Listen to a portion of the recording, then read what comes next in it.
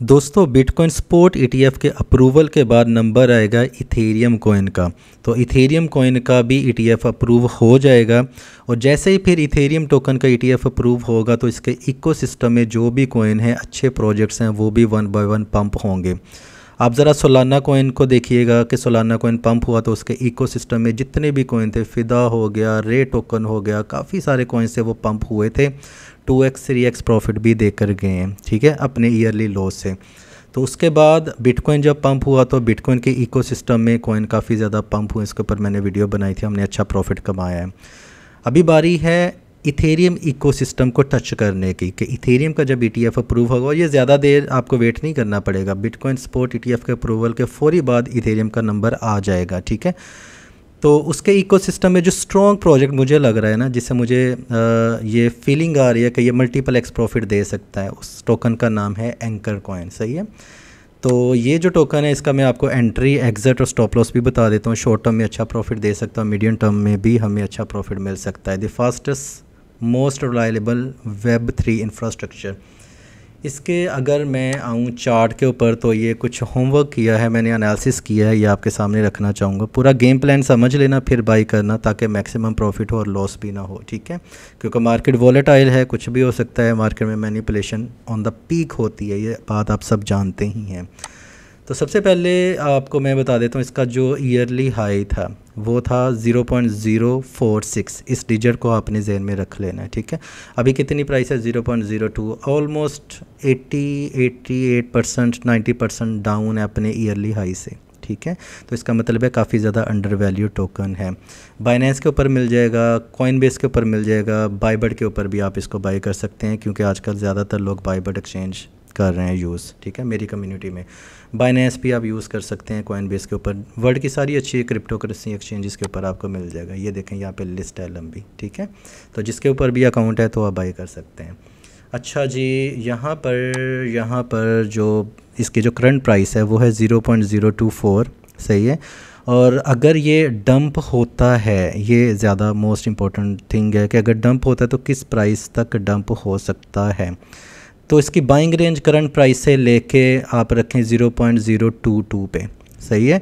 मतलब यहाँ पे zero point zero two four है ना, चौबीस है ना, बाईस तक आप इसको इस रेंज में भी आपको मिलता है। अच्छी बाइंग है। ये शॉर्ट टर्म की मैं बात कर रहा हूँ। मीडियम टर्म के लिए आपको स्टॉप लॉस लगाने की ज़रूरत नहीं है। मैं स्टॉप लॉस पहले बताऊँगा क्योंकि आप लोग पूरी वीडियो फिर देखते नहीं हो, फिर बाद में कहते जी मेरे फंड स्टक हो गए। जस्ट इन केस अगर मार्केट में मैनिपुलेशन हो जाती है या फिर इसके बाद मार्केट क्रैश हो जाती है। सही है? तो स्टॉप लॉस इसका जो बनेगा, वो तकरीबन ऑलमोस्ट अगर ट्वेंटी पे जाके टकराता है तो आप शॉर्ट टर्म स्टॉप लॉस लगा सकते हैं। मतलब अभी zero point zero two four है ना zero point zero two zero पे अगर जाता है तो आप इसको निकल सकते हैं। ज़्यादा ह्यूज डिफरेंस नहीं है, ज़्यादा लॉस नहीं होगा आपको। तो 22 से लेके 24 तक 0.022 से लेके 0.024 टू फाइव पे भी मिलता है, आप बाई कर सकते हैं शॉर्ट टर्म में अच्छा प्रॉफिट मिल सकता है।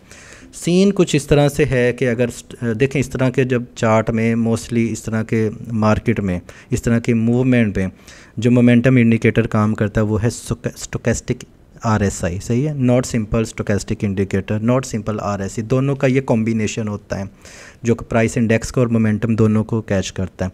तो ये इस टाइम पे है जी ओवर सोल्ड टेरिटरी में। अब थोड़ा सा इन, इनको मैं ज़रा आपको हाईलाइट करके बता देता हूँ कि ये क्या इंडिकेट कर रहा है। मेरा पर्सनल फार्मूला है सही है? जब भी दो दफ़ा ये मार्केट ऐसे जाती है ना ये देखें ज़्यादा फासल फासला ना हो ओवर सोल्ड जोन में जाते हैं तो हमेशा बड़ा पंप आता है ये देखें बड़ा पंप आए इधर सही है? तो इसके बाद ये देखिए ओवर सोल्ड में आया ओवर सोल्ड में आया उसके बाद ये देखें बड़ा पंप आया कि ओवर बोर्ड तक ये गया है। सही है? ये देखें, ये यहाँ पे गया है ओवर सोल्ड में, अब दोबारा ओवर सोल्ड में गया है। तो ये फेयरली चांसेस है कि ऊपर जा सकता है। अदर इंडिकेटर लगाएँगे, जैसे एम हो गया आर हो गया इसके अलावा एस एस चैनल हो गया, वो आपको बेरे सिग्नल देंगे। तो बेरे सिग्नल कहाँ पे वो पॉजिटिव करेगा? वो जाएगा zero point zero two two पे जाके वो आपको बोलेगा बाई कर लो। तो मैंने एडवांस में आपको बता दिया ठीक है?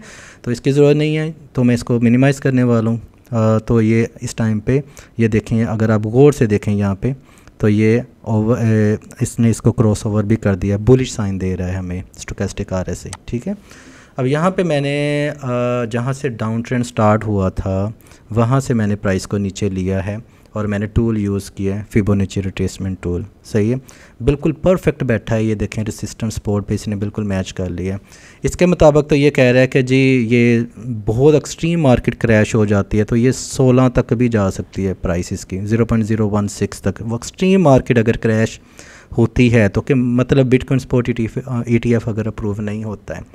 तो फिर आप सेकंड बाइंग यहाँ पे कर सकते हैं, जो मीडियम टर्म वाले हैं। शॉर्ट टर्म का तो स्टॉप लॉस फिर हिट हो जाएगा ना, जो कि उम्मीद कम है मुझे मुझे लग रहा है कि उससे पहले हमें अच्छा प्रॉफिट मिल जाएगा एनकर कॉइन से। अच्छा यहाँ पे जो अभी रिसेंटली इसने हाई लगाया है, वो 0.38 की रेशो भी है, और वैसे भी आप मैनुअली भी रेसिस्टेंट खींचेंगे तो ये बनेगा। तो अगर करंट प्राइस से अगर मैं लगाऊँ तो यहाँ पर आपका पहला प्रॉफिट टेकिंग होना चाहिए। थर्टी थ्री परसेंट प्रॉफिट मिलेगा आपको इस पॉइंट पे, जो कि अचीवेबल टारगेट है। सही है? शॉर्ट टर्म की मैं बात कर रहा हूँ। इसके बाद मार्केट अगर इसको तोड़ देती है मतलब यहाँ पे आप फोर्टी परसेंट प्रॉफिट बुक कर सकते हैं सिक्सटी परसेंट रखें आप। इसको ये क्रॉस कर देती है, कोई ई टी एफ़ भी अप्रूव हो जाता है। इथेरियम चले पंप हो रहे नहीं ई अप्रूव हो इथेरियम अकेला पंप होना शुरू हो जाएगा। तो उसके बाद यहाँ पे इसको ये क्रॉस ओवर कर देगा। नेक्स्ट इसका जो टारगेट होगा, वो इस पॉइंट पे होगा zero point zero four two zero point zero four two कुछ याद आया? मैंने कहा था जेन में रखना डिजिट ये ईयरली हाई 0.049 तो एग्जैक्ट वही फिगर नहीं बनती होती होती है। थोड़े बहुत जो सेंट्स हैं, उसका डिफरेंस आ ही जाता है, ठीक है? तो ये यहाँ तक जाएगा जो कि बनता है सत्तर परसेंट का प्रॉफिट इतना ज़्यादा ह्यूज नहीं है। यहाँ पे जाके इसका अप ट्रेंड स्टार्ट होगा। हैरान कन बात है ना कि इतना सत्तर परसेंट प्रॉफिट के बाद ये इसका अप ट्रेंड स्टार्ट होगा तो बाद में ये क्या सलूक करेगा? ठीक है, उसको भी इसके बारे में भी देख लेते हैं। फिर इस तरह के बड़े बड़े पंप आते हैं, ये देखें। सही है? इस दफ़ा बेरिश मार्केट में टेन एक्स ट्वेंटी एक्स तक भी नीचे गए हैं। सही है? कॉइन्स ये देखें।